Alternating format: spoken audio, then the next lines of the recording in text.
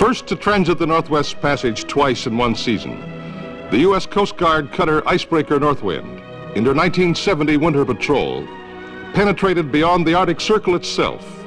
Her orders to come to grips with the polar ice pack and test the feasibility of winter shipping off the western coast of Alaska. Tonight, Exploration Northwest presents the first of an exciting two-part adventure, the 6,000-mile odyssey of the Northwind.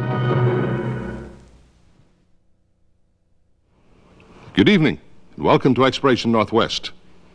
For nearly a century, the United States Coast Guard has been closely linked to our country's efforts to unlock the secrets of the seas about us, including the ice-locked extremities of our Earth. Over the years, many of these adventurous odysseys have originated on the West Coast.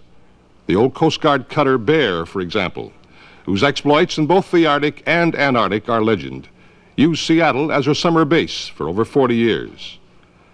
During her long and distinguished career, many of her proudest moments took place in the ice-bound seas to the north.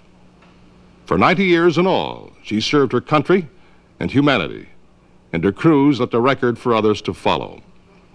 It is to the many who served aboard the Bear, as well as to the memory of the lady herself, that this program is dedicated. The story of one who follows in her gallant tradition, the Odyssey of the Northwind.